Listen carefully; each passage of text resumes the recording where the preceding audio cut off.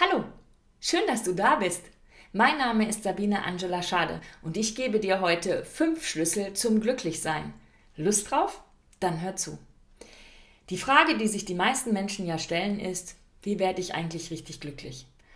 Und was kann ich tun, um richtig glücklich zu sein? Oder was darf mir passieren? Wo darf ich sein?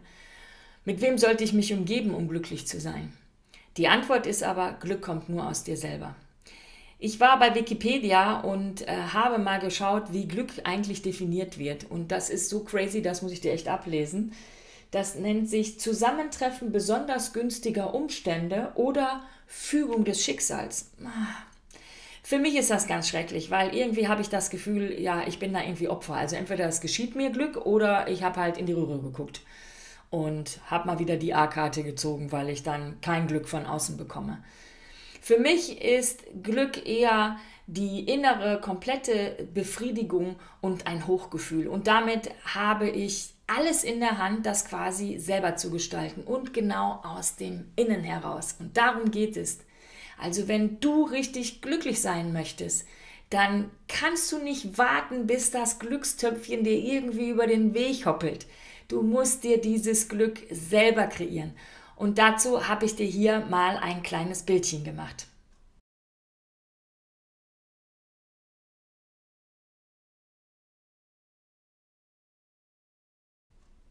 Da spürst du also, dass Glücklichsein an und in dir liegt. Nur du kannst Glück selber machen.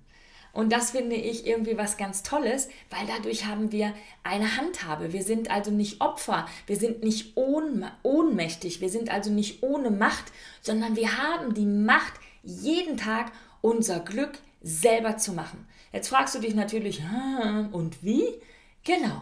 Und dafür gebe ich dir jetzt meine fünf Schlüssel zum Glücklichsein. Legen wir los. Hier kommt Schlüssel Nummer eins. Triff die Entscheidung. Ja, du hast richtig gehört. Du musst für dich entscheiden, glücklich zu sein.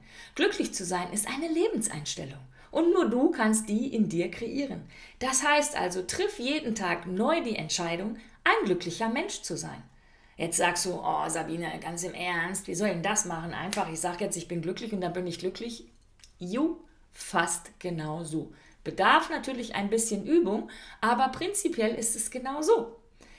Du kannst, wenn du morgens aufwachst, kannst du dir deine Augen öffnen und sagen, hey wow, heute wird ein glücklicher Tag. Oder du kannst sagen, hm, woher kommt es, dass ich heute so glücklich bin? Oder du kannst sagen, was ist das für ein Tag, dass ich so viel Glück habe? Wenn du diese Was-Fragen, also oder Wie-Fragen oder Warum-Fragen stellst, gibst du deinem Unterbewusstsein sozusagen den Auftrag zu suchen, warum du jetzt so glücklich bist. Das heißt, du hast dein Unterbewusstsein am Morgen schon auf den, für den ganzen Tag programmiert, warum du den ganzen Tag so glücklich bist. Selbst wenn dir dann Dinge passieren, die vielleicht ein bisschen unglücklich erscheinen, im Übrigen können sich aus manchen unglücklichen Dingen auch teilweise sehr glückliche Zustände entwickeln. Das darf man nie vergessen. Das Leben ist nämlich immer für dich. Also das alleine ist schon mal auch ein ganzer Kurs wert über positives Denken. Vielleicht mache ich dir auch noch mal ein Video darüber. Genau. Aber es geht heute um Glück und bei, diesen, bei dieser Entscheidung, morgens schon zu fragen, wie kommt es, dass ich heute so glücklich bin? Oder was ist das für ein besonders glücklicher Tag heute? Da hast du alle Optionen mit eröffnet, dass es dir ganz besonders gut geht an diesem Tag und dass du glücklich bist. Denn glücklich sein ist eine Entscheidung. Durch dieses Programmieren am frühen Morgen ist es so, dass über den ganzen Tag du immer wieder daran denkst und plötzlich feststellst, wow, das ist ein schönes Gefühl gerade, das ist eine schöne Situation. Ach, guck mal, die Dame an der Kasse hat mich angelächelt. Hey, wie schön. Ich lächle zurück. Oder vielleicht beginnst du mal mit dem Lächeln und lächelst die Dame an der Kasse an oder den Herrn am Bankschalter oder du lässt beim Zebrastreifen einmal rüber und lächelst. Das sind alles Momente, dann lächelt jemand zurück, bedankt sich und schon hast du ein Glücksgefühl erzeugt. Das heißt also, du mit, dieser, mit, mit, mit diesem Satz am frühen Morgen kreierst du dir sozusagen selber das Bewusstsein und die Achtsamkeit über den ganzen Tag auf glückliche Momente hin zu achten. Und wenn du dich jetzt abends ins Bett legst, lade ich dich ein für ein kleines Tagebuch und schreibe zwei, drei Glücksmomente von dem Tag auf. Und du wirst sehen, dein Tagebuch wird eine Sammlung von Glücksmomenten. Und selbst wenn du mal einen Tag hast, an dem es dir nicht gut geht, lies in diesem Tagebuch und du wirst gleich wieder glücklicher. Es ist auch so, wenn du glücklich bist und wenn du dir selber das Glück kreierst, dass du in dir eine andere Schwingung, eine andere Frequenz kreierst. Und mit dieser anderen Frequenz kannst du sozusagen wieder glückliche andere Frequenzen anziehen, so wie ein Magnet. Und der Magnet, da geht ja immer das mit den negativen und positiven Polen. Bei uns ist das das Gesetz der Resonanz in unseren Schwingungen. Und da ziehst du immer die Schwingung an, die du selber auch gerade trägst. Wenn du also eine yeah, glücklich Schwingung trägst, dann wirst du glückliche Schwingungen, glückliche Situationen in dein Leben ziehen. Wie gesagt, es ist ein bisschen Übung, aber es ist überhaupt nicht schwer. Es lohnt sich, es wirklich auszuprobieren. Mein Schlüssel Nummer zwei für dich. Der Schlüssel Nummer zwei ist Dankbarkeit. Dankbarkeit ist meiner Meinung nach das, der Master Key, also der Hauptschlüssel, um glücklich, erfolgreich, harmonisch, erfüllt sein Leben leben zu können. Ohne Dankbarkeit wirst du nicht deine Meisterschaft in der Hinsicht erreichen. Dankbarkeit ist das A und O. Und da lade ich dich zum Beispiel auch ein, wenn du morgens deine Äugelein öffnest, dann kannst du schon als erstes sagen, wow, danke, ich bin aufgewacht. Es gibt ganz viele Menschen, meistens ältere, die wachen morgens nicht mehr auf, was dann für die Älteren auch in Ordnung ist, aber für dich ja nicht. Und wenn du deine Augen öffnest, dann siehst du ja auch sofort was. Dann kannst du sagen, hey, meine Augen funktionieren. Danke, super. Und höchstwahrscheinlich hast du vorher den Wecker gehört, der dich geweckt hat, auch wenn du ein bisschen sauer auf den bist, weil es schon wieder so früh ist. Aber du kannst sagen, hey, meine Ohren funktionieren. Super, danke, ich kann hören. Und wenn du dann aufstehst, dann hast du dein Gleichgewicht. Du kannst laufen, du kannst gehen, du kannst dir mit deinen, du bist koordinativ, du kannst dir Zähne putzen. Du hast Zähne. Super, Dankeschön dafür. Du kannst dir ein schönes Liedchen morgens im Badezimmer anmachen und mitsingen und kannst dann zum Beispiel sagen, ja, ich bin dankbar für, keine Ahnung, und fängst an, Dinge aufzuzählen. Du kannst deinen ganzen Körper durchgehen. Du kannst sagen, ich höre, ich sehe, ich schmecke zum Beispiel die Zahncreme, ich kann meine Hände bewegen, ich kann meine Schultern bewegen, ich kann mein, meinen Rumpf bewegen, meine Lunge atmet von alleine, mein Gehirn steuert alles von alleine. Yeah, ich bin dankbar, mein Magen, der meldet gerade Hunger, juhu, ich kann dann was essen, ich kann schlucken, alles funktioniert, mein Darm funktioniert, meine Leber funktioniert, alle die ganzen ganzen Organe, du kannst die alle aufzählen. Das heißt, du kannst dir letztendlich dich morgens in dein Bett setzen und schon mal ganz alleine 50 Dinge aufschreiben, wofür du dankbar bist und indem du nur durch deinen Körper gehst. Und da haben wir noch gar nicht angefangen, dass du vielleicht dankbar bist, dass du einen tollen Freund hast oder eine super knocke Freundin, dass du gesunde Kinder hast, dass du ein gutes Familienleben hast, dass du vielleicht eine schöne Arbeit hast, dass du Du kannst so viele andere Sachen noch schreiben. Du kannst Danke sagen, dass du zu Fuß gehen kannst zur Arbeit. Du kannst Danke sagen, dass es eine Straßenbahn gibt, die dich zur Arbeit fährt. Du kannst Danke sagen, dass du ein Fahrrad hast, mit dem du fahren kannst. Du kannst Danke sagen, dass du mit dem Auto zur Arbeit fährst. Es gibt hunderttausend Gründe, wofür du den ganzen Tag über dankbar sein kannst. Fang einfach mal damit an. Integriere Dankbarkeit in dein Leben und du wirst sehen, du wirst so viele Glücksmomente dir selber kreieren können, alleine, weil du dankbar bist, dass dir manche Dinge einfach widerfahren. Wunder, wunderschön. Ich kann es dir wirklich nur empfehlen. Ohne Dankbarkeit ist das Leben trist und grau und trostlos. Also Dankbarkeit als wichtiger Master Key, aber hier dein Schlüssel Nummer zwei. Dein dritter Schlüssel, vergleiche dich nie, nie, nie, niemals mit anderen. Niemals. Du wirst immer den kürzeren ziehen. Egal, worin du dich vergleichst mit anderen Leuten, im Normalfall wirst du merken, die sind schöner, reicher, klüger, erfolgreicher, dünner, dicker, größer, kleiner, gelenkiger, sympathischer, ähm, gut gelaunter, kommunikativer, weiß der Geier, was sie alles irgendwie sind, haben besseren Geschmack, die bessere Wohnung, das bessere Auto, das bessere Haus, den besseren Pool Vergleichen ist Mist, weil du wirst sehr, sehr, sehr, sehr, sehr häufig den kürzeren ziehen. Und wenn du den kürzeren ziehst bei einem Vergleich, definitiv nein, dann bist du sicherlich nicht glücklich. Da bin ich 100% überzeugt. Das heißt also, besinne dich auf dich, besinne dich auf dich, was du kannst, besinne dich auf dich, auf deine Stärken, auf deine Motive und hack nicht auf deinen Schwächen rum. Schau, wenn du dich vergleichst, und andere irgendwas besser können als du, dann kannst du es ja schlechter. Das ist dann also nicht deine Stärke, das ist dann quasi deine Schwäche. Und wir lernen eigentlich immer, dass wir für die Schwächen halt besonders viel üben sollen, damit wir da besser werden. Das ist aber, sorry, das ist Bullshit. Ja, wenn du immer versuchst, deine Schwächen etwas besser zu machen, dann bekommst du, wenn die vielleicht irgendwie bei minus 5 sind, dann bekomm, bekommst du mit, wenn du daran arbeitest, vielleicht maximal auf 0, aber niemals auf plus 5 oder auf 8. Wenn du aber eine Stärke schon hast, die bei plus 3 ist und du arbeitest an deiner Stärke, bam, dann kannst du die auf plus 8, plus 9, plus 10 bringen. Das heißt, das, das, das macht doch viel mehr Sinn. Das kreiert viel mehr Energie und zwar positive. Also, guck nicht auf deine Schwächen, die hast du so oder so. Ja, sondern guck auf deine Stärken und mach aus deinen Stärken wirkliche Soft Skills, sagt man heute, wo du wirklich durch die Decke gehen kannst, wo du ein Meister in deinen Stärken wirst. Weißt du, ein Virtuose, der Klavier spielt oder Geige spielt oder sowas, der wird höchstwahrscheinlich ganz viele Schwächen in anderen Dingen haben. Der wird höchstwahrscheinlich schlecht Buchhaltung können, weil der Virtuose ist sehr kreativ, Buchhaltung ist eher so strukturiert. Ja, das heißt also, und der Buchhalter wird höchstwahrscheinlich eher nicht ein Virtuose mit einem Musikinstrument sein. Es wird vielleicht eins spielen, aber er wird nie ein Virtuose darin werden, während er vielleicht als Buchhalter mega super und mega erfolgreich ist.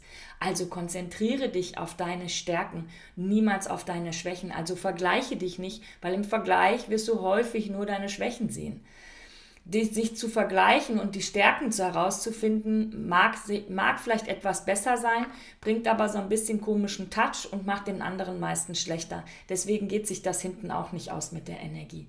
Also konzentrier du dich für dich ganz alleine auf deine Stärken. Perfektioniere die. Was heißt perfektioniere? Wir sind alle nie perfekt, ganz klar. Aber arbeite die wunderbar aus, sodass du dir daraus aus deinen Stärken Glücksmomente sozusagen kreieren kannst. Und was auch noch dazu kommt, wenn du dich nicht mehr vergleichst, fängst du an, dich immer mehr gut zu finden. Du fängst an, dich immer mehr lieben zu können. Selbstliebe ist ein A und O. Wenn du dich selber nicht bedingungslos lieben kannst, kannst du auch nach draußen keinen lieben. Ja, das, das ist einfach so. Und da gebe ich dir auch noch mal eine Übung mit. Da kannst du dich jeden Morgen auch vor den Spiegel stellen und kannst Folgendes sagen. Du kannst dir selber eine Umarmung geben und kannst sagen, ich mag mich. Ich bin gut, so wie ich bin. Ich bin nicht perfekt, aber das ist gut so. Alles, was ich brauche, das steckt bereits in mir. Ich vertraue mir und ich vertraue dem Leben. Und ich stehe stets für mich ein. Diese Sätze sag einfach mal jeden Morgen zu dir und du wirst sehen, du wirst Tag für Tag für Tag dich lieber haben, dich selber besser finden und das hat nichts mit Egoismus zu tun, das ist Selbstliebe. Und das ist ein ganz, ganz großer Unterschied. Und das ist uns irgendwie immer abtrainiert worden, weil es immer heißt, das ist egoistisch, wenn man, man soll sich nicht selber toll finden und man soll nicht selber stolz auf sich sein und solche Geschichten. Mach es einfach mal. Mach es mindestens 21 Tage und du wirst sehen, es wird sich was verändern. Also, Schlüssel Nummer drei: Vergleiche dich niemals und beginne dich selber zu lieben. Hau rein, stärke deine Stärken. Und da komme ich auch schon zum vierten Schlüssel, den ich dir gerne mitgeben möchte. Und dieser vierte Schlüssel heißt, verlasse deine Komfortzone. Deine Komfortzone ist das, was du dir eingerichtet hast, wo du dich wohlfühlst, wo du sicher bist, wo all die Dinge sind, die du schon kannst, wo all dein Erlerntes schon drin ist, wo all deine normalen Tätigkeiten, die du so drauf hast, sind, wo all dein normales Verhalten, was du dir angewöhnt hat, gewöhnt hast, drin ist. Das ist deine Komfortzone. Aber um wahres Glück zu kreieren, musst du deine Komfortzone verlassen. Weißt du, die meisten Menschen stehen morgens irgendwie um halb sieben auf, Dann frühstücken sie meistens das gleiche. Dann nehmen sie meistens den gleichen Arbeitsweg mit dem gleichen Fahrzeug. Dann sind sie meistens an der gleichen Arbeitsstelle mit meistens den gleichen Leuten, mit meistens dem gleichen Chef. Dann machen sie meistens über den ganzen Tag verteilt die gleiche Arbeit. Dann gehen sie meistens nach Hause wieder, nehmen denselben Weg und sind meistens dann bei ihrer Familie oder den Abend gestalten sie sich fast immer gleich. Vielleicht mal ein paar Ausnahmen.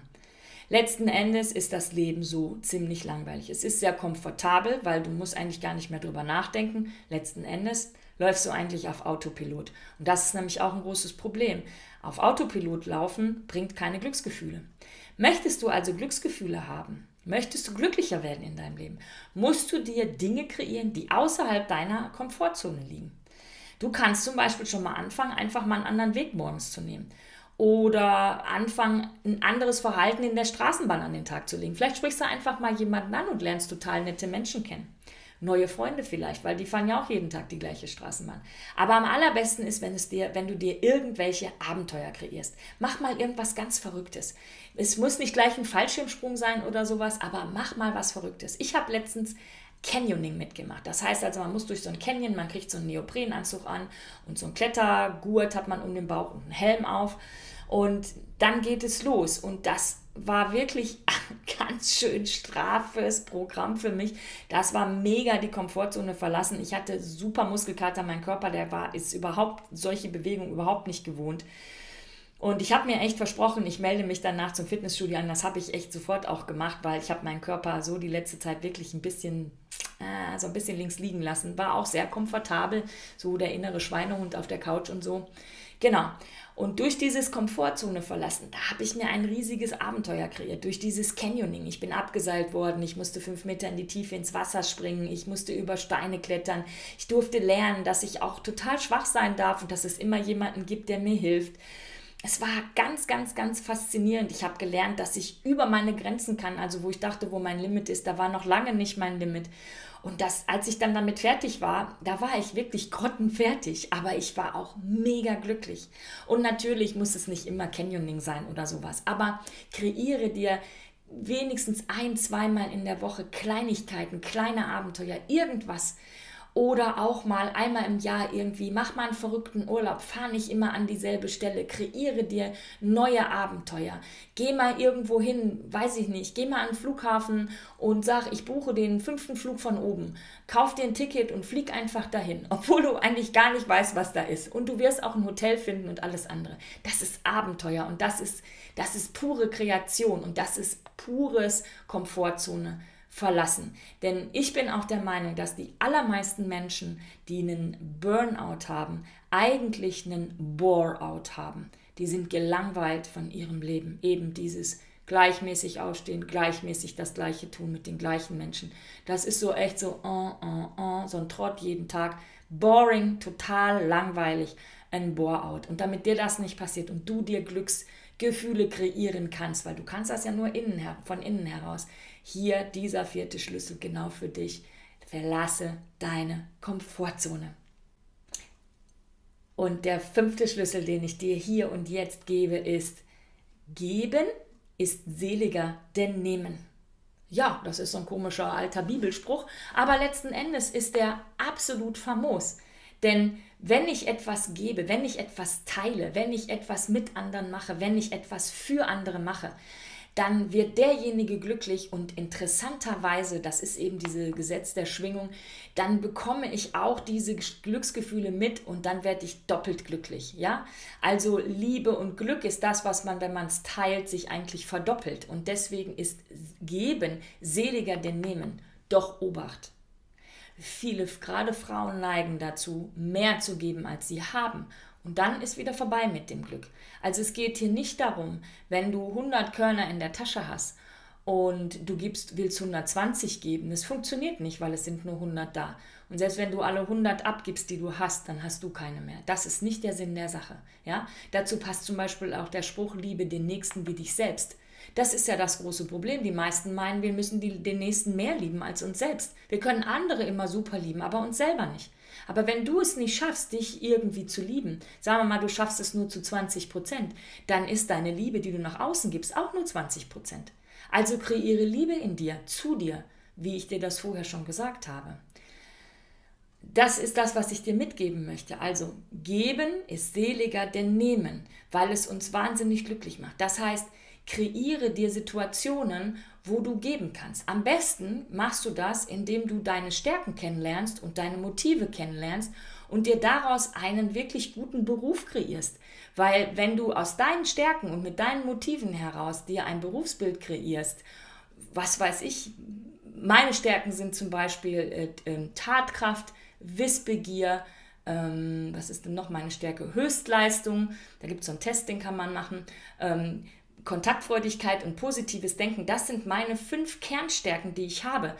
Mit, mit meinen Motiven zur, ähm, zum Führen und zum Lehren und zum Helfen. Und daraus habe ich meinen Beruf quasi äh, wirklich auch kreiert, nämlich als Coach, als Life-Coach, an deiner Seite zum Beispiel zu stehen, um dir zu helfen, um dich zu lehren, um dich zu führen, um dir deine Talente bei dir rauszusuchen, deine Fähigkeiten, deine Stärken und deine Motive und dass du für dich herauskristallisieren kannst, ja, was ist eigentlich das Richtige in meinem Leben, was ich dann geben kann. Man sagt immer so schön, naja, du bist ein Geschenk für die Welt. Und genau das ist es. Du hast in dir ein Geschenk, was die Welt braucht. Und das Problem ist, dass die allermeisten Leute dieses Geschenk irgendwie noch nicht gefunden haben. Und wenn du das findest und das siehst und das dann verschenkst, das macht dich so glücklich, weil es andere so glücklich macht. Und das kannst auch du. Und das ist das, wozu ich dich einladen möchte. Ich habe dir unter diesem Videofilm hier drei Links reingepackt. Der erste Link, der führt dich zu meiner Facebook-Gruppe. In dieser Facebook-Gruppe, wieder voller Energie und Freude, treffen sich regelmäßig ganz viele Menschen. Wir unterstützen uns gegenseitig. Ich halte jeden Montagabend ein Live-Coaching und jeden Sonntagmorgen gibt es eine gemeinsame Meditation. Einfach, dass man ein bisschen bei sich innen ankommt und sich ein bisschen besser kennenlernen kann. Das ist der erste Link. Der zweite Link ist, ich habe ein Webinar für dich gemacht. Also falls du noch mal mehr lernen möchtest, wie du wirklich die Kurve kriegen kannst, um dir selber ein glückliches, harmonisches Leben mit einer tollen Partnerschaft, super Freundschaften und einem genialen Job zu kreieren, dann rate ich dir, schau dir dieses Webinar an. Und den dritten Link, den ich dir drunter gesetzt habe, falls du mutig bist oder jetzt schon super neugierig geworden bist, lade ich dich ein. Ich schenke dir 60-minütiges, ein 60-minütiges Coaching mit mir. Da kannst du die, mir deine Fragen stellen. Wir schauen, wo deine Stellschrauben sind, die du verändern kannst, damit bei dir wirkliche Veränderung im Leben stattfinden kann. Und darum heißt dieser Call auch Change Call, weil es für dich einen riesen Change geben wird. Du wirst nach diesen 60 Minuten genau wissen, wo du stehst. Du wirst Klarheit darüber haben, wie du weitergehst. Und das ist mein Geschenk an dich. Buche dir also, wenn du mutig genug bist, gleich deinen Change Call. Wenn du noch nicht so mutig bist, ich verstehe das, wobei der völlig kostenfrei ist, aber manche Menschen sind trotzdem etwas weniger forsch als ich, lade ich dich, wie gesagt, ein, entweder in die Facebook-Gruppe zu kommen und oder dir das Webinar anzuschauen. Es ist natürlich alles drei möglich. Du kannst in die Gruppe, du kannst das Webinar angucken und du kannst dir mit dir mit mir deinen Change Call buchen. Also, das ist mein Geschenk für dich, weil ich möchte nämlich, dass du mindestens genauso glücklich sein willst, wirst wie ich. In diesem Sinne wünsche ich dir eine wunderbare Zeit und ein mega glückliches Leben. Deine Sabine Angela Schade.